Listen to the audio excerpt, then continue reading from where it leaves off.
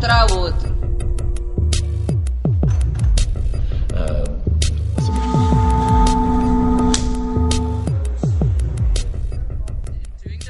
and the workshops what I've I've sort of, I've done several of them now and I've started to realize there's three main stories that the project holds that can be activated. I'm sure there's others, but mm-hmm. three for me. Uh, one is the story about scoring or drawing. Mm-hmm or creating a trace which is what we're doing all the time with our maps and all the mm-hmm. drawings in the site right? But that these traces then can generate new mm-hmm. possibilities. So you don't tra- in our work you don't trace to preserve and end the mm-hmm. project you trace to begin new creation okay. so we do this in the in the project in the in the workshop.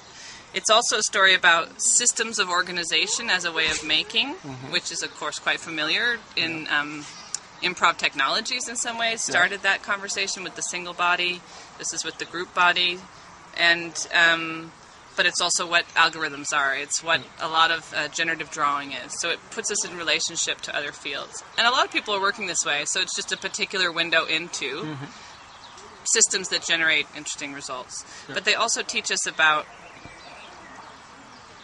social systems, about who we are as individuals, in a group, Yeah. about how we want to live in the world.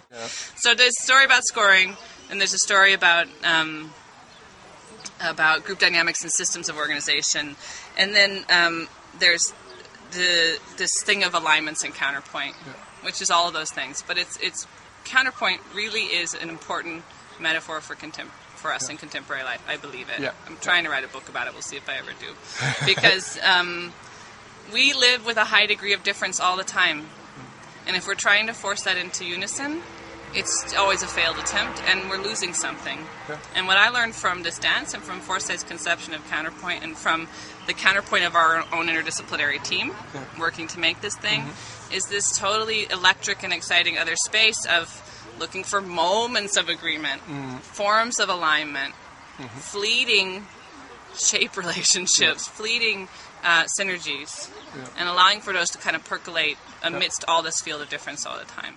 Just these in, other installations we're doing. We were Yeah. invited by Andreas Breugmann, a curator in Germany, to make a really an art installation Uh-huh. from the screen-based work to Yeah. sort of rip it out of the interface and Yeah. create an art installation, which now we're touring as an entirely other way into the work. It's it's really um, a more individual perspective, and then um, and then and in the midst of this ongoing work. Uh, Synchronous Objects was the sort of pilot or the beginning point for um, the Forsythe Company to get some really substantial funding from the German government to initiate Motion Bank, which is really uh, an effort to fund other choreographers to ask some similar questions, but within their own idea spaces. Not to make another Synchronous Objects at all for any of us involved, but to say what else might this dance look like? Yeah. What are the other possibilities for expressing the knowledge held within Deborah Hay's work or Jonathan Burrows' work or the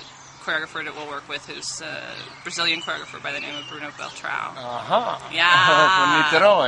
Yeah, so it's very it, it's very exciting to sort of start completely from Yeah. the beginning, and nobody's going to draw Forsythe's alignments on Bruno's choreography. Nobody's going to ask Deborah Hay to make cueing systems. It's really Yeah. about um, you know I think Bill's interested in having other perspectives out of there and, and hel- helping fund it and saying this is not one you know the synchronous objects does not try to represent all of dance Yeah. in any way or even Yeah. all of Forsythe's work Yeah, or anything it's one very rigorous concrete specific demonstrative example and we'd like that to sit up alongside hundreds of others that together tell the story of, of choreographic and dance knowledge it was really catalog. important to us to share the process catalog. I encourage people Yeah. to go find it on the site. Yeah. Uh, each object shows some process Yeah.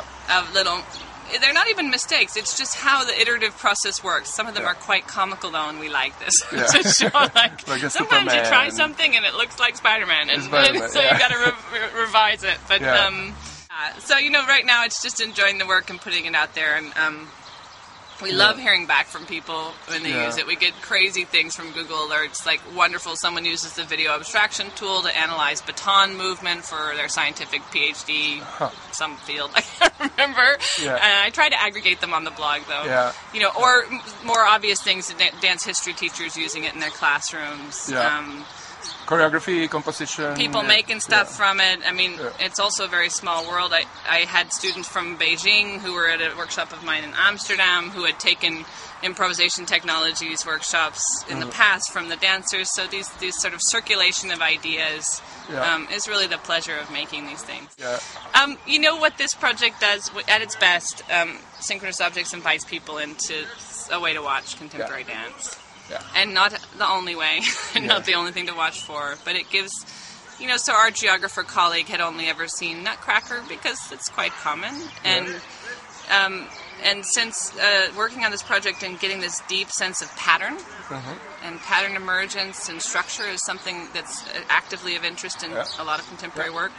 He goes to see dances and he has a way into it and he's excited about it. He's Yeah. completely unlocked something and invited Yeah. him in. And to me, that it's just an individual anecdote, but it's it's really the the hope and power of these kinds of projects is opening a new way in for people to to access the knowledge that, that's there. And how do you see the response of this in New York? You know, I am really curious because you know, like all, don't all this stuff that we are talking, and you know, is it is that stuff that I moved to New York to study about? You know, that we Yeah, you that know- we you know all this ex- exercise about self-organization, flocking, Yeah, uh, expanding perception. I don't know. We've had we've had some invites. We've presented at Harvestworks, and we'll do a um, a lecture in uh, October with the Goethe Institute in, in New York. But honestly, the discourse on this is much more active in, in Europe. Yeah. Wow. I've toured all over Europe. I have invitations to Germany three or four every year. Yeah. There's this kind of like very active dialogue within Yeah. the dance field Is about it huge revisionism and uh, you know, of course, of, uh, technology and the yeah. mix and what is notation and what is reconstruction. They did this incredible cover festival in Amsterdam where young choreographers covered older, chore- you know, sort of Pat, uh, you know, Martha Graham or something like Yeah, this. There's yeah. this really um, active, hungry conversation about what is a trace and what is knowledge and Yeah. what does technology do in this. And, and I haven't. I'm sure it's in the U.S. I haven't Yeah, yeah. felt it as much Yeah. uh, here. Um, and I know people are working to bring those together. This MIT event that's coming Yeah. up, Harmony Bench and Yeah. um, Tommy DeFrantz and others. You guys, You know, I know hello. we, we need to share across these these Yeah. boundaries, and and that's the fun thing about the web. Yeah. Frankly, it's Yeah. going to happen, Yeah. and um, and there's more opportunity to share, much more opportunity, and um, a real hunger and interest on both sides. I think.